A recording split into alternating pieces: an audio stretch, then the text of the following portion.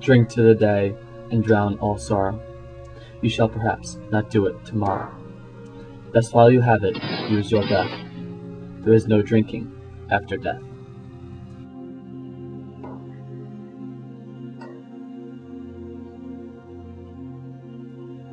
One works the heart up, wakes the wit. There is no cure against age but it. It helps the headache, cough, and tisic, and is for all diseases physic.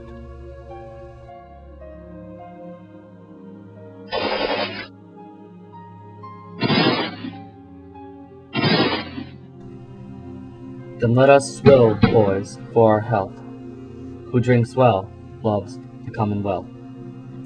And he that will to bed go sober falls with a leaf still in October.